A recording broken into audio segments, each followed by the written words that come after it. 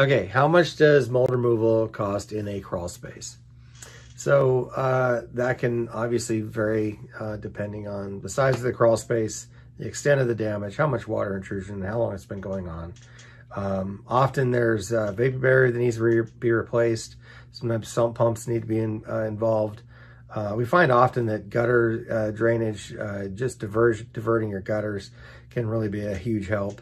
Um, sometimes we find crawl spaces that are totally dry, but they have a history of water. You can see where the water standing was in the vapor barrier. Uh, it's dry underneath, but it has cyclical water throughout the year. So uh, we'll just treat those crawl spaces. Um, you know, if there's standing water or water in there, or uh, there's some other water intrusion issue or a leaky pipe that's been leaking onto the insulation, uh, much insulation needs to be removed. All that's going to vary depending on cost. Our dry fog system, uh, that cost is always going to be the same. Uh, it's going to be anywhere from eleven to twelve hundred dollars up to you know twenty five hundred to three thousand dollars, depending on the size of your home. Uh, so the cost can vary greatly. You know, from the minimum of where we have a, a nice dry crawl space with just a history of of some moisture and water water intrusion, uh, to a huge water damage issue. You know, so it, the cost can really vary.